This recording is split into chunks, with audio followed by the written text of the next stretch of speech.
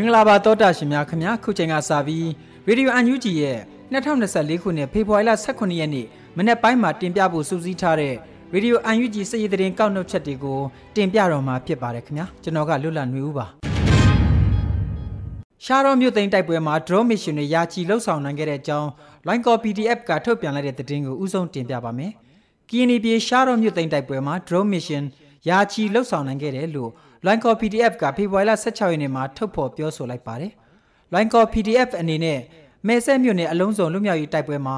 ရာနှုန်းပြပါဝင်ခဲ့ကစစ်ကောင်စီတပ်တွေအလုံးစုံကင်းစင်ရေးပါဝင်ခဲ့တယ်လို့ဒုတိယမြောက်အလုံးစုံလွတ်မြောက်သွားတဲ့ရှားတော်မြို့သိမ်းတိုက်ပွဲမှာလည်းထပ်မံပါဝင်တိုက်ခိုက်ခဲ့တယ်လို့သိရပါတယ်။ရှားတော်မြို့သိမ်းတိုက်ပွဲမှာ Line Call PDF က drone တိုက်ခိုက်ရေးမစ်ရှင်ရာချီဆောင်ရွက်နိုင်ခဲ့ပြီးအင်တိုက်အားတိုက်ပူးပေါင်းခဲ့တယ်လို့ဆိုပါတယ်။ အကြမ်းဖက်စစ်ကောင်စီဘက်ကရှားတော့မြို့သိမ်းတိုက်ပွဲအတွင်းပြည်သူပိုင်နေအိမ်90ဝန်းကျင်ဖျက်ဆီးခဲ့ပြီးအရက်သား9ဦးထက်မနည်းကိုလည်းတပ်ဖြတ်ခဲ့တယ်လို့ Line Call PDF ကအသိပေးပါတယ်။ကီနီပြည်ရှားတော့မြို့မှာနှစ်ပေါင်းများစွာအခိုင်အမာတပ်ဆွဲထားတဲ့အကြမ်းဖက်စစ်ကောင်စီတပ်စခန်းအလုံးကို Line Call PDF အပါအဝင် KA KNDF တို့ကတလတာနီးပါးတိုက်ခိုက်ခဲ့ရတာဖြစ်ပါတယ်။ တိုက်ပွဲကာလအတွင်းအကြမ်းဖက်စစ်ကောင်စီဘက်ကဗိုလ်မှူးကြီးအဆင့်အပါအဝင်စစ်ကောင်စီတပ်ဖွဲ့ဝင်160ကျော်ထိကိုချီမှုန်းနိုင်ခဲ့ပြီးလက်နက်ငယ်128လက်လက်နက်ကြီးမျိုးစုံ18လက်စမုတ်ဂန်3လက်ဂျမ်မာဂန်1လက်ဆက်သွယ်ရေးစက်များစစ်ကောင်စီရင်များခဲယမ်းကြည်စံစတဲ့အသုံးဆောင်ပစ္စည်းများစွာကိုလည်းတင်စီရရှိခဲ့တယ်လို့ KNDF ကသတင်းထုတ်ပြန်ထားပြီးဖြစ်ပါတယ်တိုက်ပွဲကာလတစ်လျှောက်စစ်ကောင်စီဘက်ကထိခိုက်ကြဆုံးမှုတွေရှိခဲ့တယ်လို့တော်လိုင်းအင်အားစုတွေဘက်ကလည်းရဲဘော်ချို့ဟာတိုင်းပြည်နဲ့လူမျိုးအတွက်အသက်ပေးလူခဲ့ရတယ်လို့သိရပါတယ်။ လိုင်းကော PDF အနေနဲ့ KND ဒေသမှာအကြမ်းဖက်စစ်ကောင်စီအပိတိုင်ချုပ်ရင်းသွားတဲ့အထိအရေးတော်ပုံအောင်မြင်တဲ့အထိဆက်လက်တိုက်ပွဲဝင်သွားမှာဖြစ်တယ်လို့သတင်းထုတ်ပြန်ထားပါတယ်ခင်ဗျာမင်းပြားမြို့နယ်အတွင်းတိုက်ပွဲများမှာတင်စီရရှိတဲ့အတွဲလိုက်ဒုံးတင်ရင်နှစ်စီးပါဝင်လက်နက်ခဲယမ်းများနဲ့စစ်သုံးရင်များကိုရခိုင်တပ်တော်ထုတ်ဖော်ပြသတဲ့အကြောင်းကိုတင်ပြပါဦးမယ်။ ရခိုင်တပ်တော် AA ကသိမ်းပိုက်ထိန်းချုပ်ထားတဲ့မင်းပြားမြို့နယ်တွင်းကစစ်ကောင်စီတပ်ရင်းတွေထံကသိမ်းဆည်းရရှိခဲ့တဲ့လက်နက်ခဲယမ်းတွေကိုဖေဖော်ဝါရီလ16ရက်နေ့ညနေပိုင်းမှာထုတ်ဖော်ပြသလိုက်ပါတယ်။မင်းပြားမြို့မှာရှိတဲ့အမှတ်6စစ်စင်ရေးကွက်ကဲမှုဌာနချုပ်စကခ6လက်အောက်ခံနီးပြူအားနှစ်ခမရ309ခမရ383ညနဲ့ခမရ941တပ်ရင်းတို့ကိုရခိုင်တပ်တော် AA ကဖေဖော်ဝါရီလပထမပတ်မှာအပိသက်သိမ်းပိုက်နိုင်ခဲ့ပြီဖြစ်ပါတယ်။ အဆိုပါတပ်ရင်းတွေထံကသိမ်းဆည်းရရှိခဲ့တဲ့လက်နက်ခဲယမ်းတွေကိုထုတ်ဖော်ပြသခဲ့ရမှာတော့ပျက်စီးနေပြီဖြစ်တဲ့အတွဲလိုက်ပစ်ဒုံးတင်ရင်နှစ်စီး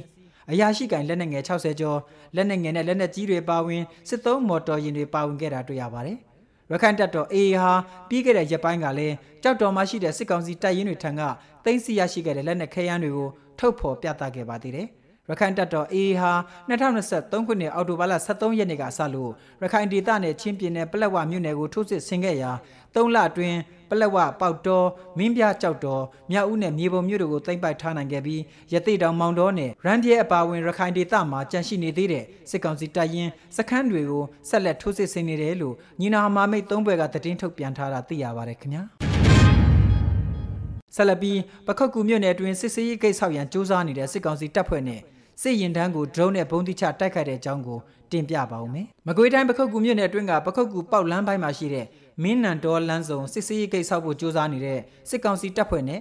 ကန်ဒီပြွာကထက်လာတဲ့စစ်ရင်တန်းကိုမောင်းသူမဲ့လေရင်တွေတုံးပြီးဘုံတိချတိုက်ခိုက်ခဲ့တယ်လို့ပခုတ်ကူ People Defense Force PPDF ကသတင်းထုတ်ပြန်လိုက်ပါတယ်ပခုတ်ကူပေါက်လမ်းပိုင်းမင်းနန်တော်လမ်းစုံမှာစစ်စေးရေးကိစ္စဖို့စ조사နေတဲ့အကြမ်းဖက်စစ်ကောင်စီတပ်ဖွဲ့ကိုဖေဖော်ဝါရီလ15ရက်နေ့ နနက်7:00နာရီအချိန်ခန့်မှာ Fish Win လေယာဉ်ငယ်တွေသုံးပြီးဘုံကျဲတက်ခတ်ခဲ့ရမှာထိခိုက်ပျက်စီးမှုတွေရှိခဲ့ပေမဲ့အကြမ်းဖက်စစ်ကောင်စီတပ်ဖွဲ့ဝင်တွေရဲ့ထိခိုက်ဒေဆုံးမှုအခြေအနေကိုဆက်လက်စုံစမ်းနေတယ်လို့ပြောပါတယ်။ အဆိုပါတိုက်ခိုက်မှုကိုပခုတ်ကူ People Defense Force PPDF ကကမ္မတပ်ပေါင်းစုမြိုင်ပကဖာတို့နဲ့အတူပူးပေါင်းလှုပ်ဆောင်ခဲ့တာဖြစ်ပါတယ်။အလားတူပဲမွန်းလွဲတနိုင်ခတ်မှာလည်းမြိုင်မြို့နယ်ရှိဘက်ပသိမ်မုံရလမ်းမပေါ်မှာကန်နီပြရွာကနေထွက်လာတဲ့အကြမ်းဖက်စစ်ရင်တန်းကို Fist Wings လေယာဉ်ငယ်တွေသုံးပြီးဘုံကျဲတိုက်ခိုက်သေးတယ်လို့ PPDF ကပြောပါတယ်။အဆိုပါတိုက်ခိုက်မှုကိုလည်းမဟာမိတ်တပ်ဖွဲ့တွေနဲ့တူတိုက်ခိုက်ခဲ့တာဖြစ်တယ်လို့ပခုတ်ကူ People Defense Force ကသတင်းထုတ်ပြန်ထားပါတယ်ခင်ဗျာ။